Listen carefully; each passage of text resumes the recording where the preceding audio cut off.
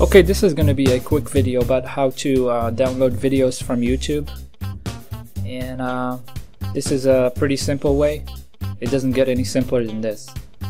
Uh, and to do this, you don't need any programs or applications to. Um, you don't need to download any programs. So uh, all you have to do, just go to your browser, find the video that you want, and uh, wait for it to load completely. So right here, where you see this red line, make sure it's uh, uh, it's all the way um, red and uh, the video is loaded. Uh, once you do that, uh, you just go to your uh, file manager and go to file system and then just find a folder named TMP. And basically this is just a temporary directory uh, for Linux.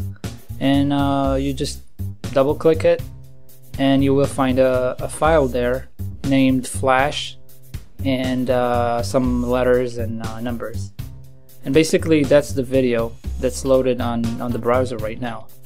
And uh, all you have to do is double uh, right click it and you can play it or you can save it to your desktop or you know do whatever you want with it uh, so I'm just gonna right click it and say uh, open with VLC media player. And as you can see it's playing that video.